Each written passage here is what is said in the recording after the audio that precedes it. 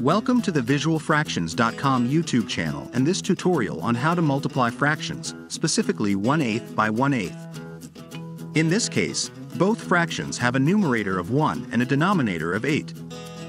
To multiply fractions, you simply multiply the numerators together and then the denominators together. Multiply 1 by 1, which gives us 1, and then multiply 8 by 8, which gives us 64. So, 1 8 multiplied by 1 8 equals 1 64th. That's our final answer. It's important to note that 1 64th is already in its simplest form. And there you have it.